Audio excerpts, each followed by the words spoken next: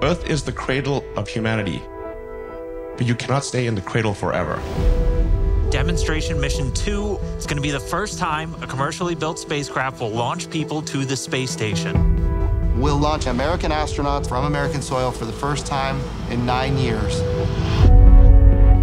NASA astronauts Bob Behnken and Doug Hurley.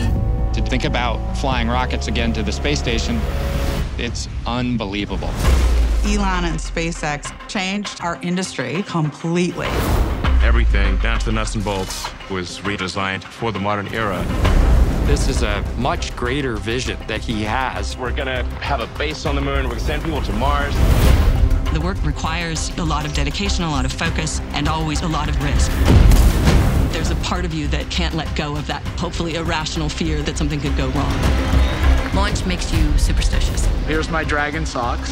There's always things you don't know about, so you don't know when those are gonna come and get you. It's gonna be right on the edge, probably. During your life, there are things that are risky, but if it results in a better world, maybe it's worth that risk.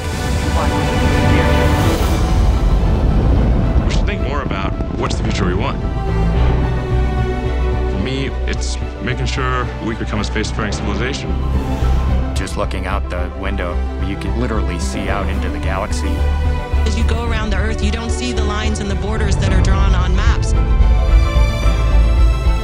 You see the Earth as this one entity, and it's our home. You realize our world is precious, and you start having an appreciation for how little you actually are. To be out there among the stars, I find that incredibly exciting. That makes me glad to be alive.